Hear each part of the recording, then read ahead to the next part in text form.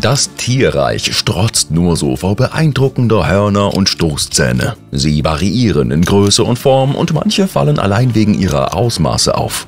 Das längste Horn aller Lebewesen gehört dem asiatischen Wasserbüffel aus Indien, Nepal und Thailand. Männchen tragen mächtige, mondförmig nach hinten gebogene Hörner mit tiefen Rillen. Im Schnitt wachsen sie auf eine Länge von anderthalb Metern und manchmal werden sie so groß, dass sie sich sogar berühren. 1955 entdeckten Forscher einen Bullen, der noch eine Schippe drauflegte.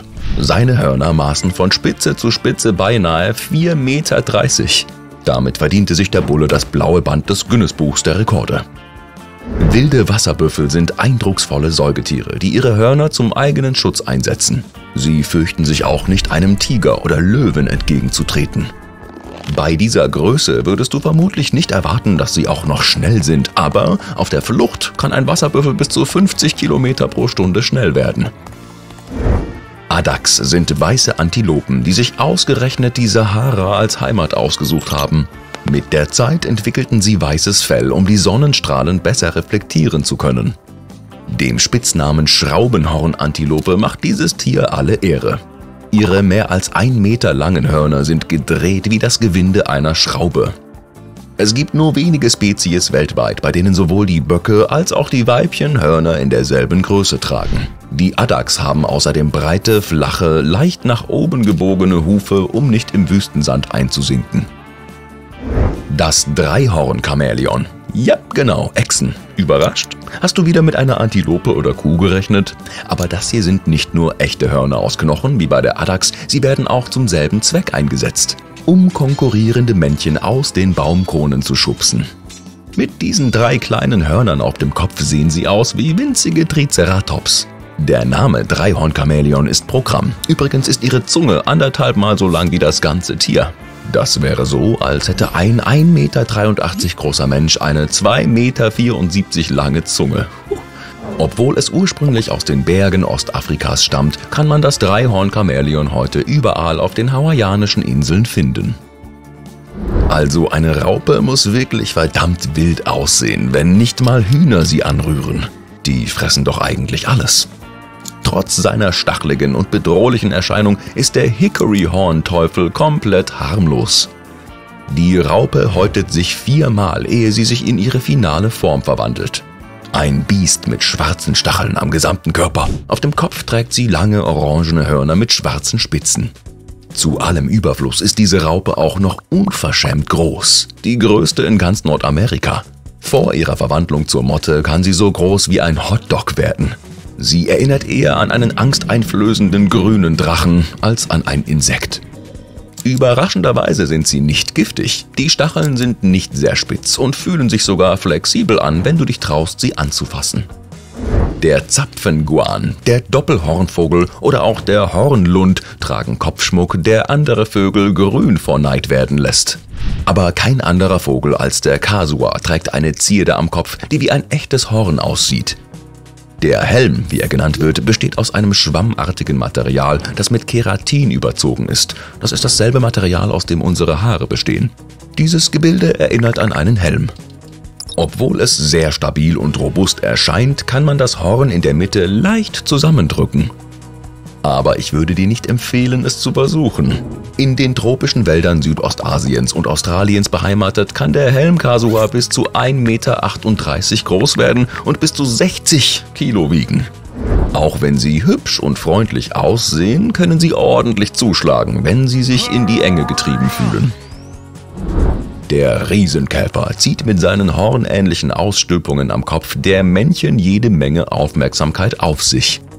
Sie sind unglaublich stark. Manche ausgewachsene Exemplare stemmen mal eben das 58-fache ihres Körpergewichts, so wie ich. Ihre Superkraft nutzen sie allerdings nur, um im Laub und in der Erde herumzugraben und sich zu verstecken. Ihre Hörner sind dabei zum Beiseiteschieben des Materials von Nutzen. Doch das schönste und interessanteste Horn gehört dem Regenbogen-Skarabäus-Männchen. Diese Art erkennt man leicht an ihrem metallischen Schimmer und dem großen Horn, das ihm aus dem Kopf ragt und sich nach hinten neigt. Sie sind so bezaubernd, dass sie sogar den Nashörnern Konkurrenz machen.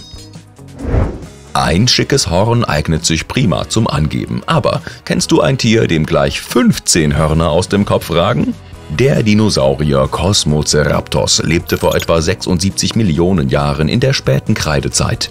Er hatte überall im Gesicht Hörner. Zehn spitze Hörner zierten den Rand seines knöchernen Schilds, das den empfindlichen Hals schützte. Über jedem Auge hatte er lange, scharfe Hörner und jeweils ein Horn ragte ihm aus jeder Wange. Dazu trug er ein einzelnes stumpfes Horn auf der Nase. Sehr viel berühmter ist sein Cousin Triceratops. Das Einhorn der Meere, ein blasser Tümmler namens Narwal, lebt in den arktischen Küstengewässern und Flüssen. Sie gehören zur selben Familie wie Delfine und Killerwale, aber ihr Horn macht sie einzigartig. Dieses Horn bzw. dieser überdimensionale Zahn kann bis zu drei Meter lang werden. Dieser schwertartige, gedrehte Hauer wächst dem Narwal direkt aus der Lippe.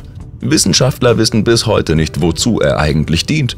Manche denken, er soll Weibchen beeindrucken, so wie ein verrückter Hut oder eine freche Frisur. Er könnte aber auch dem Kampf dienen. Tut bestimmt weh. Weibchen wächst auch manchmal so ein Zahn, aber er wird nicht annähernd so lang wie bei den Männchen. Als Mitglied der Kofferfischfamilie, zu der auch der berüchtigte Kugelfisch gehört, fällt der Kuhfisch mit seinen langen Hörnern sofort auf. Sie ragen vorne aus seinem Kopf und lassen ihn doch sehr wie eine Kuh aussehen. Man glaubt, diese Wucherungen hätten sich entwickelt, um den Räubern das Schlucken zu erschweren und ihnen damit Zeit für die Flucht einzuräumen. Die Hörner wachsen sogar nach, wenn sie sie verlieren. Durch ihre einzigartige Art zu schwimmen sehen sie aus, als würden sie durch das Wasser schweben.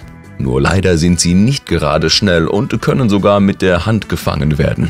Aber Vorsicht, genau wie beim Kugelfisch produziert ihre Haut unter Stress Gift. Ein 90 Kilo schweres Tier mit mächtigen Hörnern, das behende auf einem Baum klettert, ist doch eher schwer vorstellbar.